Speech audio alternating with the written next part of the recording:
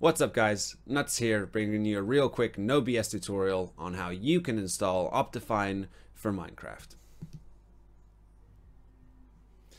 So firstly, what is Optifine? Optifine, simply put, is a Minecraft optimization mod which allows Minecraft to run faster and look better with full support for HD textures and many configuration options. For a full list of features, what it can do, you can go to their website, optifine.net forward slash home, which incidentally is also where you're going to be downloading Optifine. Now to download this, it's really, really simple. And don't worry, there's no faffing around or messing around with dot .minecraft folders or any goofy bits and pieces like that. They make it super, super simple for you. So you're going to move over to downloads. You're going to click on download. It's going to bring you to this little ad page here. They're bringing us this quality product for free. Really makes some improvements to the game. So this ad's going to pop up and you're going to get another one in a moment after you click this as well so they can earn a little bit of ad revenue for themselves there. Just completely fair enough. You're going to go to this page you're going to click download you're going to save it.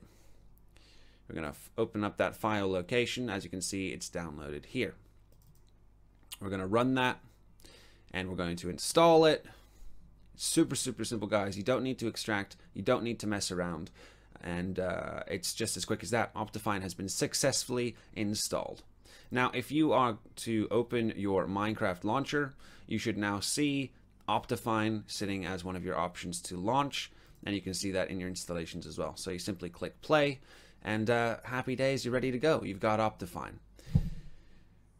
Optifine works, uh, does, it does a lot of stuff, but it also works with a couple of shaders. And I'm going to be bringing a new video in the near future on the shader pack that I use, which works in conjunction with Optifine, and it looks absolutely stunning, it's beautiful. Part of the reason I'm making these videos is because uh, so many people coming up on my stream and saying, hey man, your game looks so realistic, your game looks so good, how, do, how can I make my game look that good as well?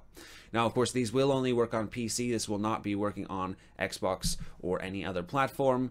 However, it is really nice. It makes the game run a lot smoother and look a lot nicer. But uh, it's that easy. That's it. Thanks for hanging out, guys. Appreciate it, and we'll see you soon.